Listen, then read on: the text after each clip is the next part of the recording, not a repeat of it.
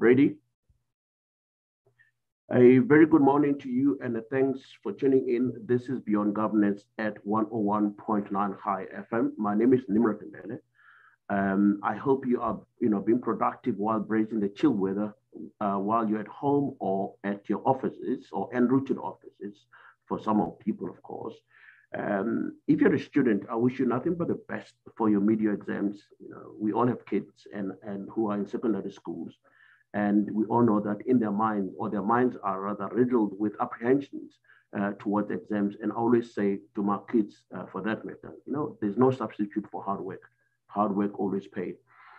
Uh, we know that winter is certainly upon us.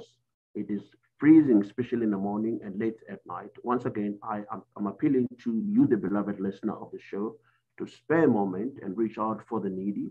Let's make a difference in someone's life by donating food parcels, clothes, and blankets. These items are certainly needed and will, will make a difference in the life of somebody who is in desperate need. Last month, we celebrated the Africa Month amidst escalation of food and, and food and fuel cost um, uh, thanks to the mayhem in the Ukraine.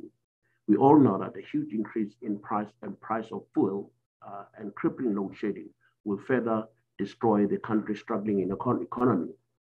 Uh, this will also uh, make sure that whatever you know gains that we have managed to claw back uh, dissipate. We know that, or most of us have witnessed that the shrinking of our daily food basket uh, which in my view will hit the poorest uh, in the main.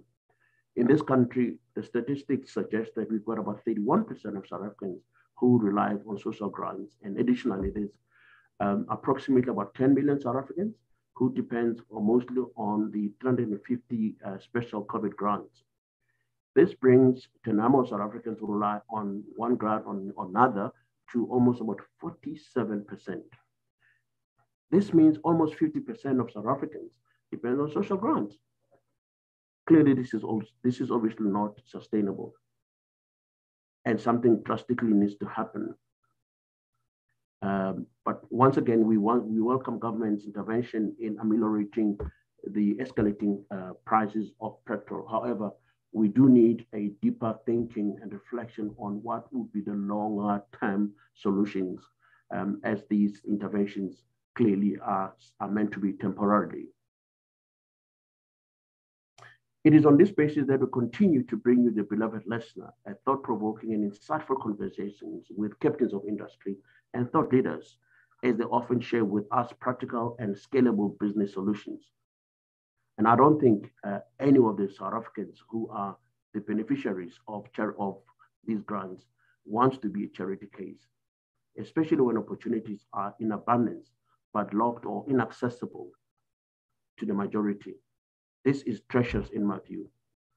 Anyway, moving along, if you missed any of our previous show, not to worry, simply visit our website, which is www.chaifm.com and look for Beyond Governance and download those podcasts and share with your views with us via our SMS line, Telegram, or Twitter handle. SMS line is 34519. The, the, the Telegram is 061 895 1095. And of course, my Twitter handle is at Mbel Nimrod. As we kick off the show, it is appropriate that we thank Vusi, who is a technical producer of the show, um, for he is able to manage uh, the gremlins, which unfortunately uh, cropped up this morning. Um, however, when you when the show up, uh, those gremlins would have been sorted would have been sorted out. In today's conversation, I'm joined by Stan Montsho, who is a Foreign Service Officer at the Department of International Relations. And he's also a serial author of books such as Tears in My Hands, Under the Sun, Under the, um, uh, Under the Shade of Wisdom. We are also joined by Saul Molobi, who's also an author and executive uh, at the Brandhill Africa. In our conversation this glorious morning, we are unpacking opportunities um, that lies for um, authors or public authors in a very com competitive uh, publish, publishing industry. Without any waste of time, let me take this opportunity to, to welcome Stan as well as uh, Saul Molobi. Gentlemen, good evening and welcome. Um, uh, thank you so much, um, and um, you know, greetings to the, the, audience and greetings to everybody we're looking forward to a great conversation that will be able to build our nation. Uh, good morning uh, to, to you, uh, Dr. Mbele. Good morning, Stan, and good morning to the listeners of Chai FM. Well done. Thank you very much, guys. Uh, as we proceed without any waste of time, let me start with Stan.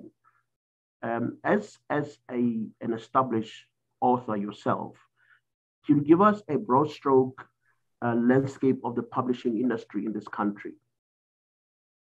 How does it look like from where you're sitting?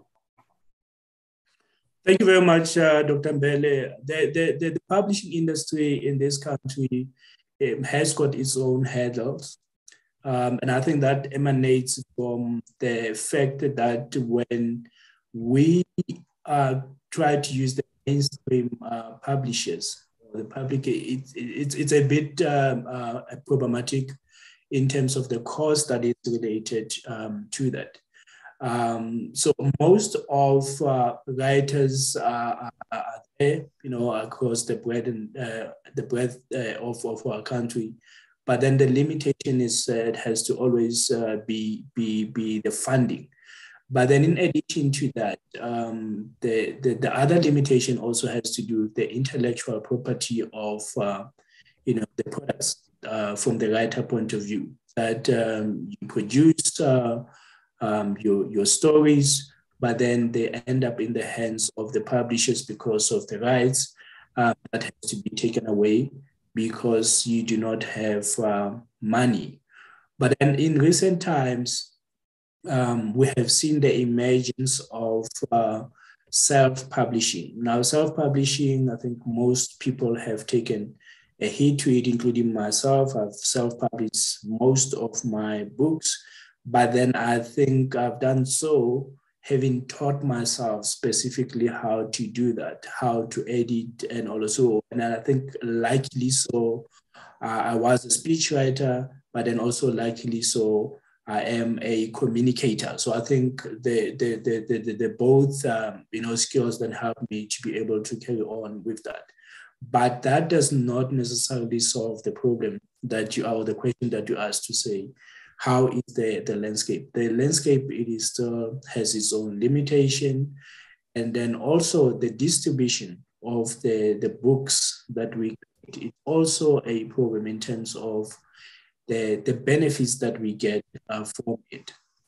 The mainstream um, um, bookshops, they take, they still take a huge percentages of our of our of our benefits and and and we gain um, we gain yes popularity we gain uh, but we do not gain any any any benefit of uh, funds from from from public from publishing.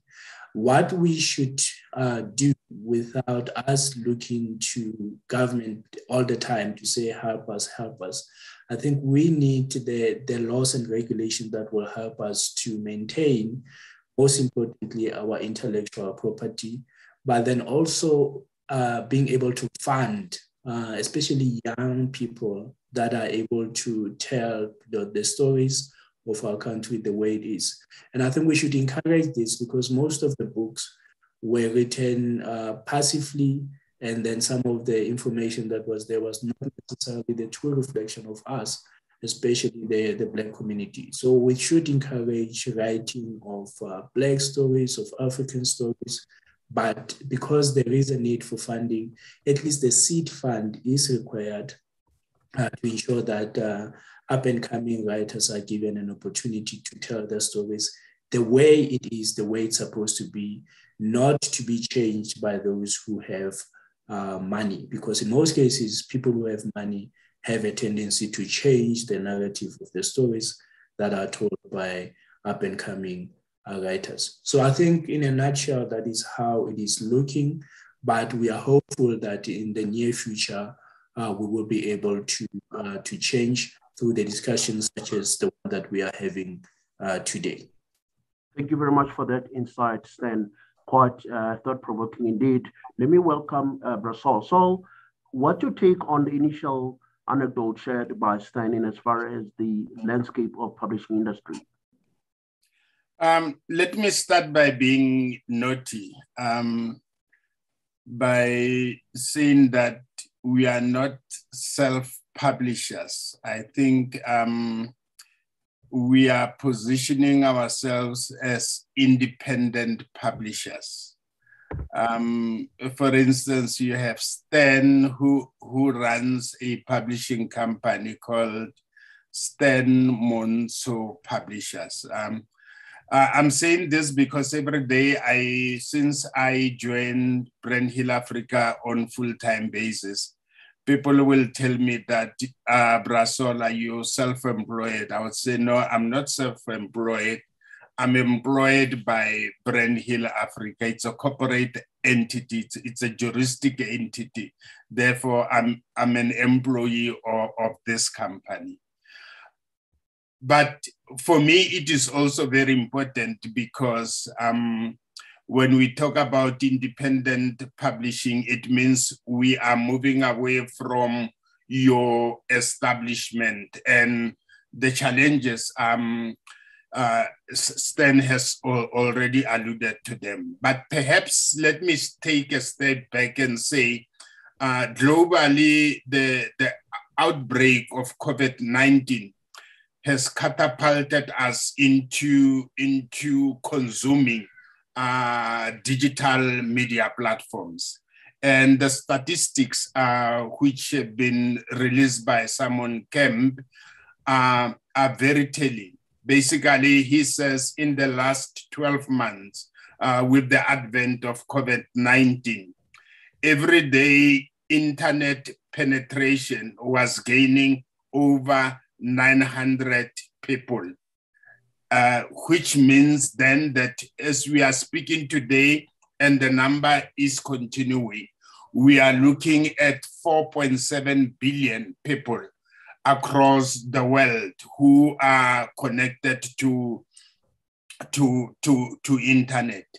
But then he also says something very, very interesting that in, in the last 10 years, consumption of media has has evolved uh, or it, it, has transformed if we are to use a contemporary uh, concept that many people are buying into. It's it, it says that um, consumption of media uh, through mobile uh, digital platforms has increased by over 460 percent.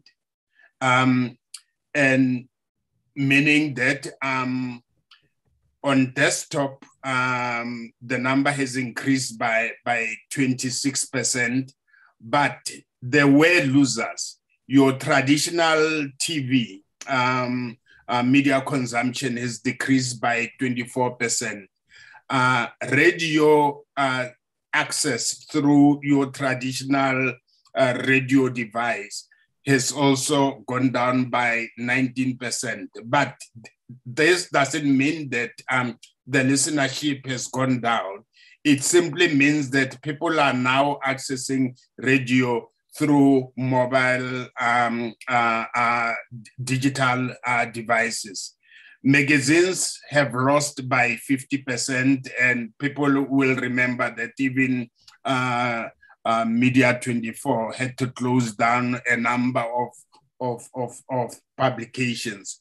So, all in all, people are reading, but the, the challenge is they are no longer reading uh, through your traditional platforms like your your books, your your your your print media, and and and uh, listening to your traditional radio or, or TV people do consume news. Now, this is a very important um, uh, development for us as independent publishers. And, and I always say to people, if we are independent publishers, we stand the chance of doing what your traditional establishment isn't doing.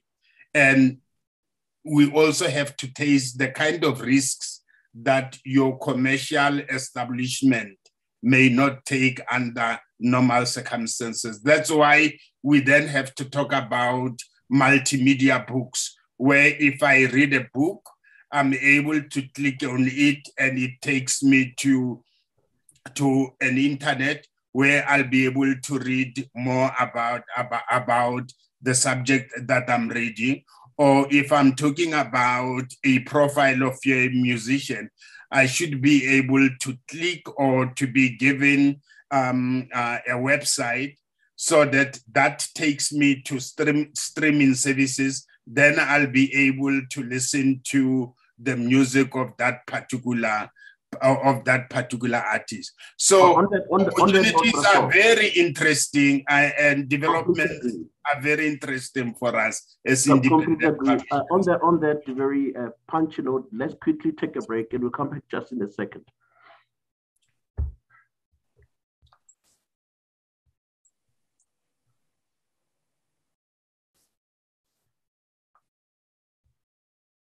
Uh, welcome back. If you've just joined us, we are just started a very interesting conversation with Stan Montsho, who's uh, um, an independent publisher as well as uh, Saul Molobi. He's in the same um, category as well. Um, before we went to that break, both colleagues were giving us very interesting insight about the, the murky world of publishing. Uh, for an example, Stan made reference to issues of cost, intellectual property, uh, and the entire ecosystem of the publish, publishing industry, which still needs to be overcome.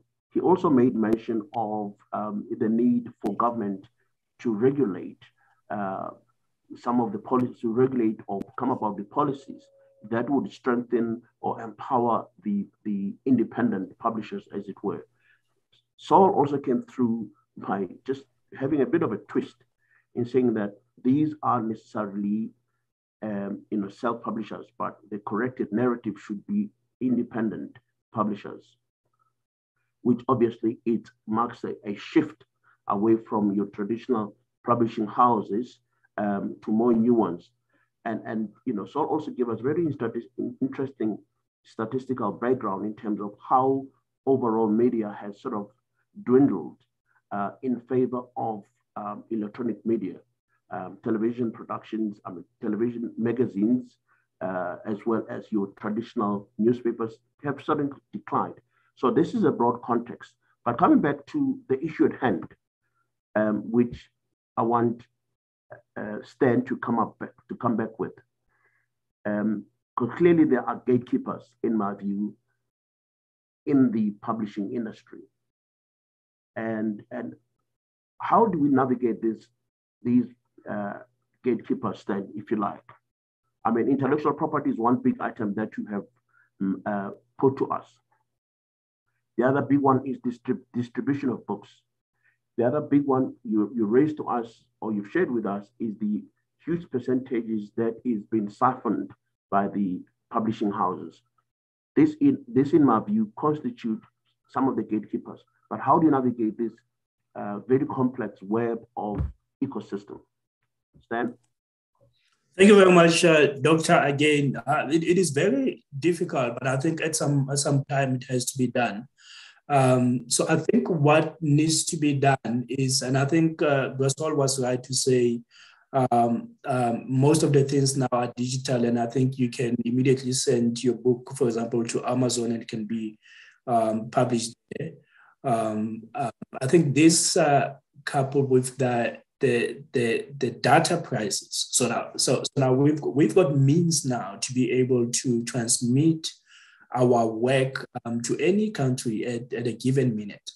Um, um, then, then the, we have to then say what is what is the limitation on the point of view of the end user being the, the reader um, so that the systems then are, are smooth um, from the point of view of uh, the producer and the, and the end user.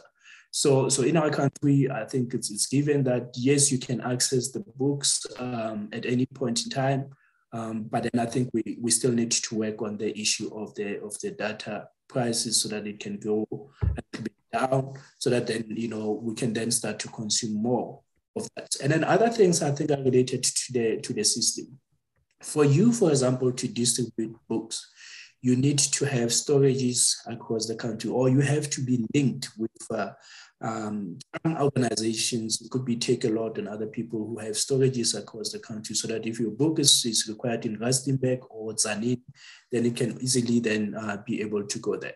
So I think then it will then be uh, in terms of then, if you look at the money that is there. So it's, it's always almost about um, the funding and the resources uh, that are there. So for you to start to, to, to publish and print the book, a book is around, let's say 80 rand, 200 rand per, per copy, depending on the, on the nature of the book.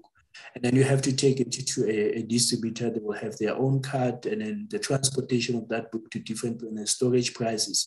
So it is, it is, it is, it is going to be a little bit um, um, difficult to navigate. But I think it will work when we start to come together as independent uh, publishers to say, um, now that we have uh, means and now that we have um, um, um, some kind of a society of publishers that we have set together, then how do we work around these now hurdles of ensuring that when a book is required, wherever it is required, then us as independent publisher, then we can be able to send it um, there. Um, as individuals, it, it, will be difficult. We need to unite as independent publishers um, because uh, unfortunately, the prices that are related to storage, distribution, and other things are not, not easy. And then we can then make a deal as a unified um, um, organization with the Takealots and them and say, even if at times we may come to want to do this at a credit agreement or anything like that, then, then, then I think that is the process that we can be able to. And then we can then build ourselves slowly. And then later, then when we establish then maybe we can then start to buy storages and, and buy you know certain resources that will help us uh, to be able to even go beyond our borders because we've got a lot of African um, nations uh, and, and other nations that are willing, that are eager to, to, to come on board. But then there's an issue of uh, custom taxes and other things. So I think we establish ourselves first, um, and I think uh, Brasol and I, I think we're going to start that because I think um, there's there's there's there's a difference between let us look into starting and starting. So we're going to challenge ourselves, me and Brasol, and say we're going to start this this this this unity of independent publishers, and then that will also be able to take us um, across the continent. And I think for us, I think it's going to be easy because I think we worked in diplomacy and, and, and I think we should be able to do this. There's young people that are eager in Southern Sudan um, that want to publish, that want to distribute their material. But I think um, the, the linear of the things that I've just put on the table um, continue to be limitation. And at some point, I think we are willing and I think we're going to overcome um, with some of the suggestions that I've just put on the table. Thank you very much. Thank you very much for that insight. Um, you raised two pertinent issues. Um, firstly, is the South African market and international market or the continental market. When you're talking book sales, as an example, um, which you've given us a unit cost from 800 rands, which adds up to about two, 300 rands, give, you know, given the value chain of other, you know, uh, players in the market. But let's take a step back and ask ourselves a question. Perhaps maybe we can shed light with, with regards with on this issue what is the reading? What is is there a culture of reading among South Africans? Because you, you, if there is sufficient culture of reading, the consumption is likely to go and be high. Isn't there a correlation between low? Of, let's park the cost. We, cost is an issue, but what about the what about the reading culture in South Africa? Um, can can maybe Brasol give us a light in there because we we're hearing a lot of debates and issues around the extent to which South Africans aren't necessarily a reading nation. So it's almost counterproductive to promote books and interventions when the majority of us, at least in the, in the market, aren't reading. Brasol, can you share light in, in, that, in that perspective, please? Yeah, there, there are two concepts that we normally talk about. It's, it's literacy uh, meaning the ability to, to read and write, uh, literacy is very low in South Africa, and the reason uh, could be attributed to the crisis our education um, is in. For instance, um, the National Planning Commission has indicated that um, in, their, in their review of education in 2018, they found that between grade one and grade 12, there's a 40% uh, dropout rate. This, this means um, we, are, we are in crisis and therefore it impacts on, on our literacy skills. Uh, we, we also know that um, South Africa is scoring very poorly on literacy and, and numeracy competitions um, uh, globally. So this is the challenge are, we are facing. But there's another concept that we should be looking at. It's called aliteracy, meaning people who can read and write, but they're just reluctant to read. And yes, especially with my generation, we can attribute this to the legacy of Bantu education, where we were taught to, to read not for pleasure, but for exams or for tests, meaning for academic purposes. So for that reason, then, uh, then you'll find that um, people don't buy books for leisure. Therefore, people don't read books for leisure, uh, which creates a, a crisis uh, for the book market. That's why when you look at the South African uh, commercial publishing industry, they are basically in educational um, uh, publishing because then they know that they are able to sell the books to, to the Department of, of Education or to universities. And our specialty as independent publisher is to develop a trade market, uh, people buying our books for leisure, for fun. But I would say those of us who have children, um, the minute you start reading and your children can see you every day reading, uh, they will be able to learn from you and they should be able uh, to imbibe this culture of, of reading. And, and for me, this is promising because we are most of us are now actively involved in the education of our children we also help them with with homework, we are more involved than our parents. But I also want to talk about one thing that um, Stan has, has raised.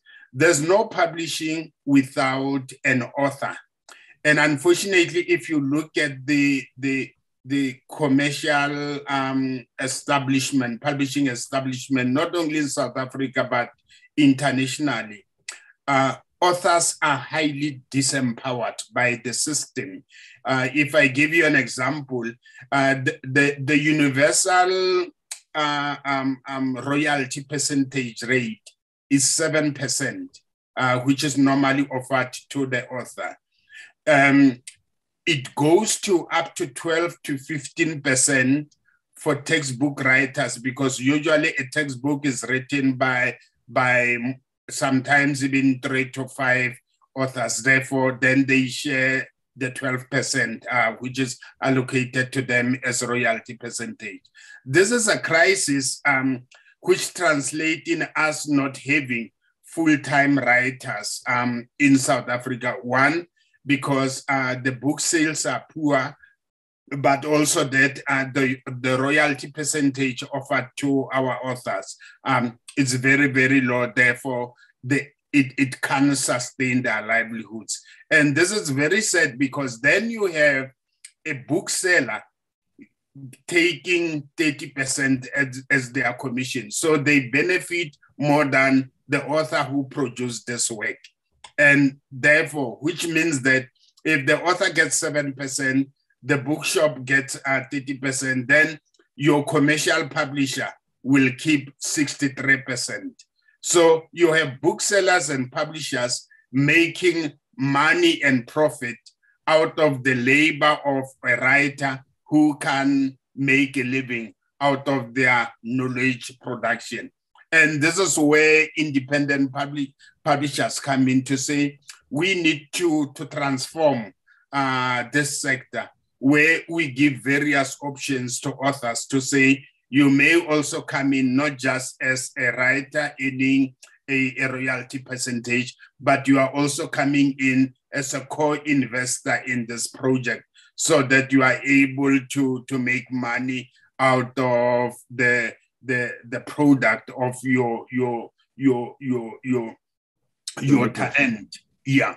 So this is where we are coming in as independent publishers uh, to transform the, the, the publishing industry so that everyone in the value chain is able to benefit. Um, the other thing is that we also avoid uh, using your, your mainstream booksellers thanks to, to, to companies. Uh, I'm sorry, I'll just mention them. Your Postnet, you have your garages, you have your Pick n Pay and PEP, who have now gone into, into distribution, which means then that um, we are able to use social media to promote our books and people order them.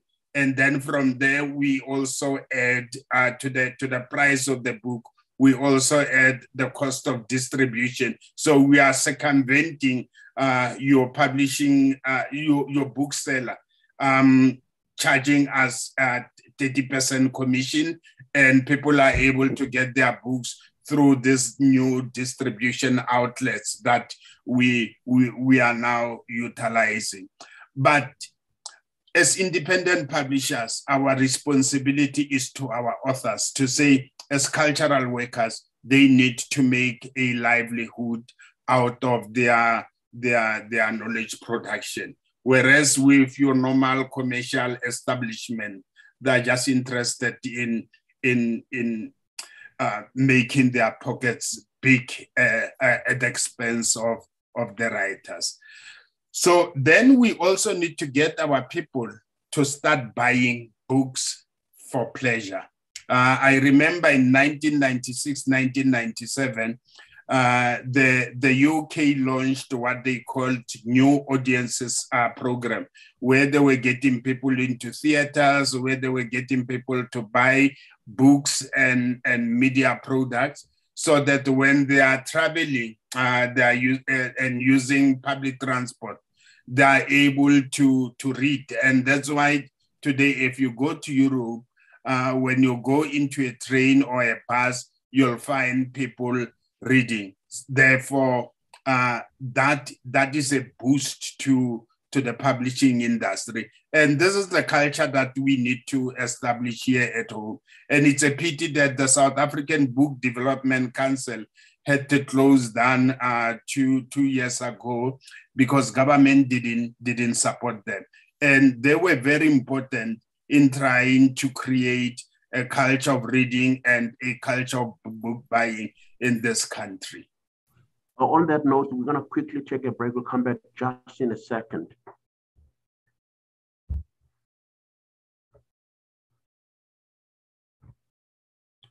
Welcome back. Uh, this is um, Beyond Governments. I'm joined by Stan Montsho, who's a Foreign uh, Service Officer at the Department of International Relations, as well as a serial author. And I'm also joined by Saul, Molobi, who's, also, who's an executive at Brandhill Africa, He's also a well-established publisher.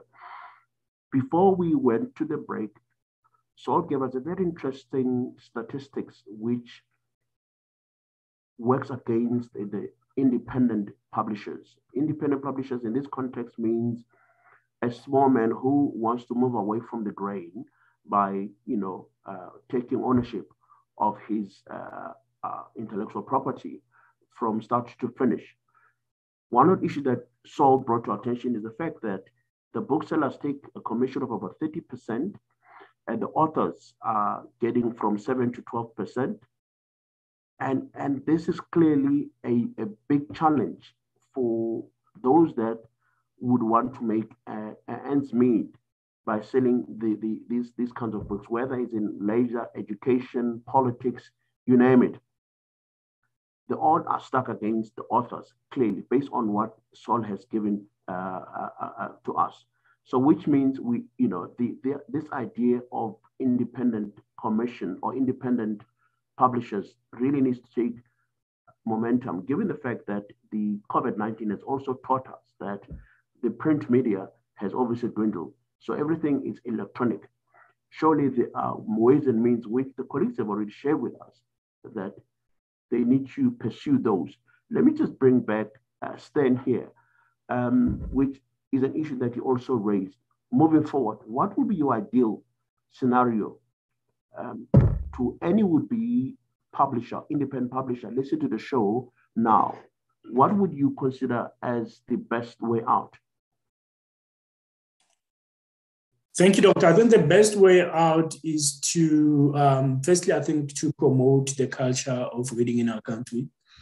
Um, so I think we need to also look into, you know, the, the kind of language that we produce.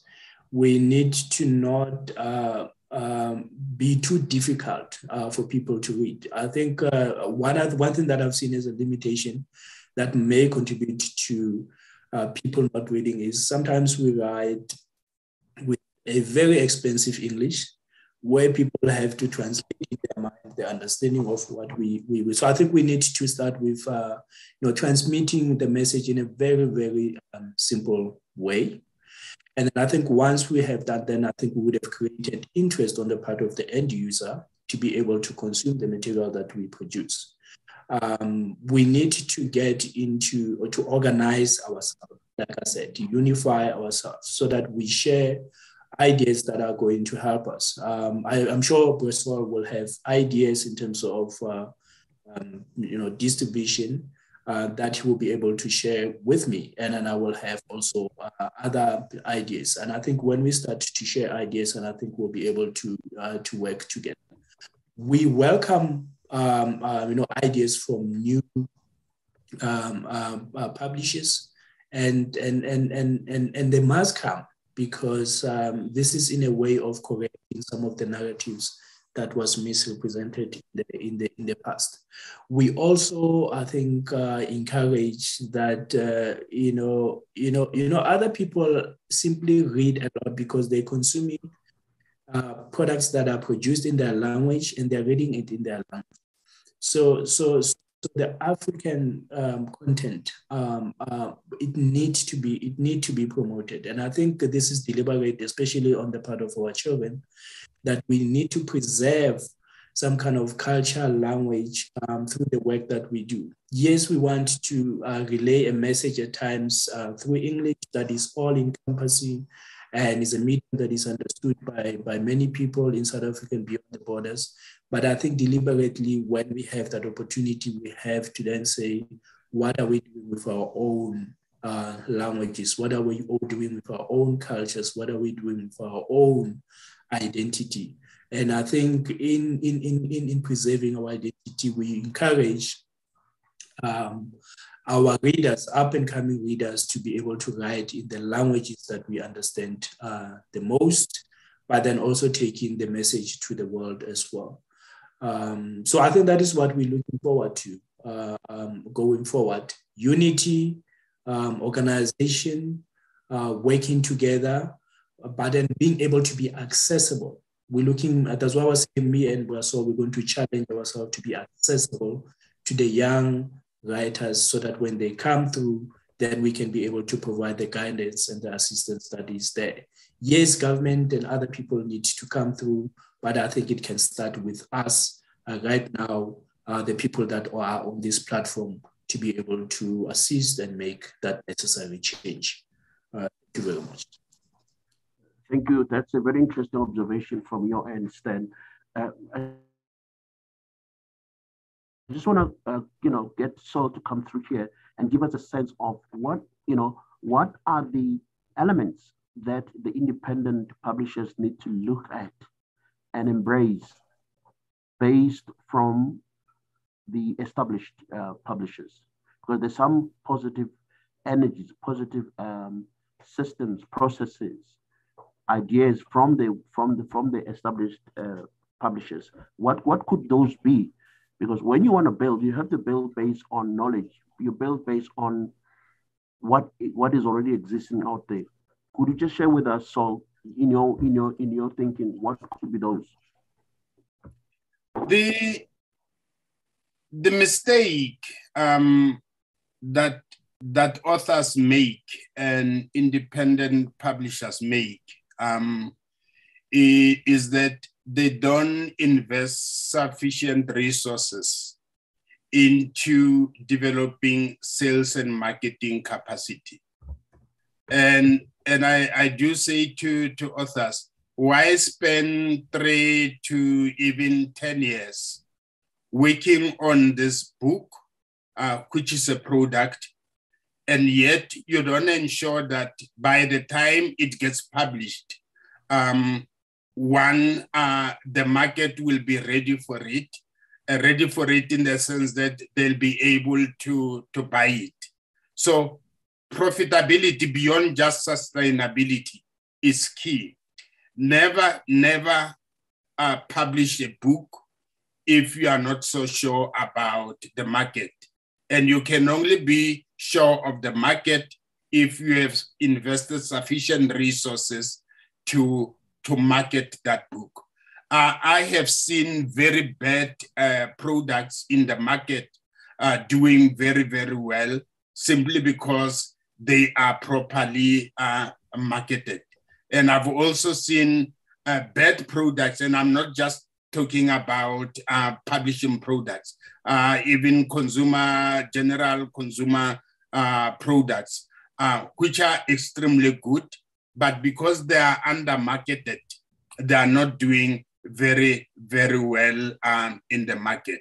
So my, my advice to any author is that when you give your manuscript to, to, to a publisher, whether commercial or independent, make sure that uh, before they publish, already they've shared with you their sales and marketing strategy so that you can have comfort that um, that that book is going to to penetrate the market. And by the way, um, it's a brand. We need to to to brand our products, whether it's it's it's it's a novel or it's it's poetry or just like music or any other consumer product. We we need to brand them so that um, they, they appear to be palatable to the consumers. We need to convince our consumers that yes, the, the money that you have as your, as your disposable income, uh, please, instead of spending it on that product, uh, please spend it on my book because it will be worth it. So where authors just publish for the sake of publishing or independent publishers publish for the sake of publishing, then it's not sustainable. And as such, that's why we'll always have problems where we, we will have our cultural workers uh, uh, uh, becoming destitute and, and, and unfortunately then you have a situation where that cultural worker has passed on, then we will then blame government for not supporting uh, cultural workers. But the truth is that um, the support should primarily come from the consumers. And consumers will only buy a product if that product is properly marketed by, by the publisher uh, in the case of, of, of book publishing. So please, as independent publishers, let invest resources into, into marketing and selling uh, our books, not only for our sake as publishers, but also for the sake of the livelihood of our authors, because they need to make a living from their, their knowledge production. So this is very, very key. And I've seen many independent publishers um, coming short on, on this one. Well, that's that's quite uh, thought-provoking and insightful in so many ways. Let me bring Stan as we gravitate towards the end. What what's your take? What are your take take points or issues that you want to elevate based on what Saul has said? No, definitely. I think just to re-echo what Rasol said, I think uh, the packaging is very important. Um, the, the, the kind of uh, information that you put through your product is very important. Market research is also very important. Um, um, access, um, having access through networking, through ensuring that um, you consult with people that are, you know, have been tested. Uh, it is very important. Again, I, I want to emphasize this one: organizing um, um, because with organizing, then we are going to be able to get different viewpoint, different ideas that is going to, to be able to build our product to be uh, world class. I think that is also um, very important. I want to also re-echo what uh, Saul said. Let's not do things for the sake of um, doing things. Yes, it is important that all of us have got a different message and we have to relay that message. But let's not uh, take our, our consumers for granted. That little money that they could use for bread, and if we say to them, buy my product that we know that is not necessarily worth it, um, that, that becomes unfair. So let us make an effort and, and a dedicated effort in ensuring that if we say to them, make a choice and buy my product and do not buy bread for your own children, then it's, it's, it's indeed, um, uh, uh, you know, uh, informed and it is indeed something that is going to be beneficial to that particular uh, consumer. So I think uh, it's re-emphasized to say, let us take our consumers very seriously. And when we do so, they will have no choice but to support our products. And they're going to build this market that we have been talking about. And, uh, and, and I think that is the way to go. And I think we have to also take time to ask them, consumer, what is it that you want? so that we respond positively to something that we know people want than assuming that they are wanting it. So I think that is my message uh, today going forward. Thank you very much.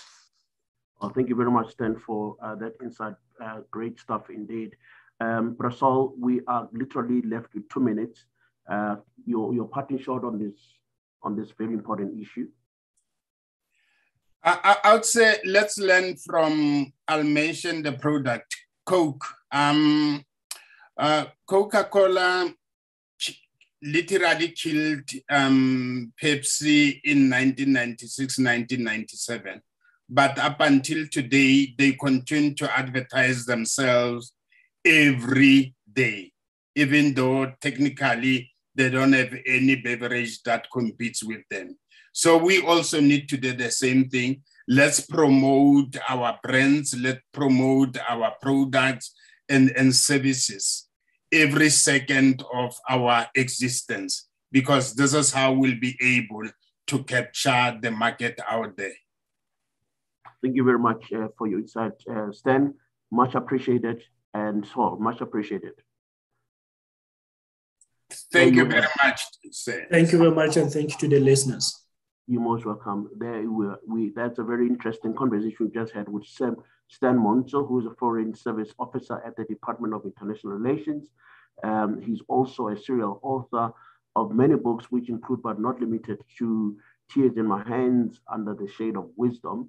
Saul is equally, um, you know, to the task as in he's also an acclaimed author and, and as also as the executive um, at the Brandhill Africa we were unpacking the ecosystem of the publishing fraternity. Colleagues have been able to share with us interesting insights on how to navigate uh, very turbulent water, if you like, of the established environment. We have noted a very disturbing statistics which goes against the grain. The authors are in our, based on the co uh, comments echoed by colleagues, clearly authors uh, of cultural artifact or cultural uh, intelligentsia, to look of a better word, have been disempowered, given the fact that the bulk of the money goes to uh, booksellers, goes to distributors, and very little comes to them. So for them to become successful from, from, from an artistic point of view, there's a point, there's need for them to um, spend as much time in marketing the product. Um, Saul was quite pointing that if you, you already have a, pro a product that is upcoming, you have to spend as much time and resources marketing that particular product. Stan was also quite on point by saying you have to give value. The consumers, people that buy your product, have to have value. You, you have to demonstrate value. They want to just buy your book because they like you. They got to buy your book because they believe in the messaging, the content, which is uplifting to them. Unfortunately, we're going to leave it here. It has been absolutely beautiful having the conversation with these two gentlemen. Let's do this again shortly. Shalom.